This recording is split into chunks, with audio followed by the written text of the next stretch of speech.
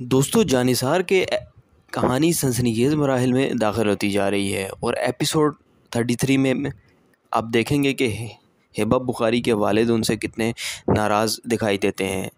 لیکن ہیبا بخاری ان کو منانے کی پوری کوشش جاری کرتی ہیں۔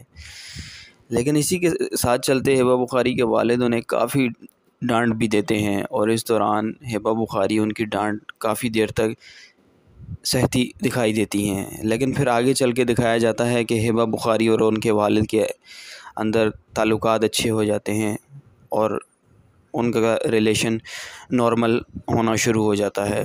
پھر دوستو، آگے ساتھ ہی چلتے دکھایا جلتا ہے کہ کس طرح دانش تیمور اپنی جو سیکنڈ لور ہوتی ہیں، ان کی پاس میں ان سے ملنے جاتے ہیں اور وہ انہیں کافی ایموشنلی بلیک میل بھی کرتی ہیں اور کہتی ہیں کہ تم مجھ سے ملنے کیوں نہیں آتے اور اس طرح کی کافی باتیں بھی مطلب کہ وہ وہ کرتے ہیں ان سے۔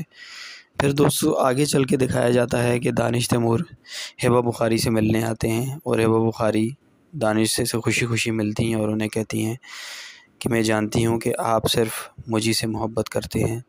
دوستو اسی کے ساتھ چلتے دانش تیمور جب یہ سنتے ہیں تو ان کے رونگٹے کھڑے ہو جاتے ہیں کیونکہ وہ جانتے ہیں کہ وہ کسی اور سے بھی محبت کرتے ہیں۔ اسی لیے دوستو، اس ڈرامے کے اندر کافی سسپینسفل موڑ دکھایا جاتا ہے۔ مزید آگے چل کے اس کہانی میں اور بھی رازوں سے پردے فاش ہوں گے۔ لیکن اب تک کے لیے اتنا ہی دوستو، آپ سے ملیں گے نیکسٹ ریویو میں۔ بہت شکریہ۔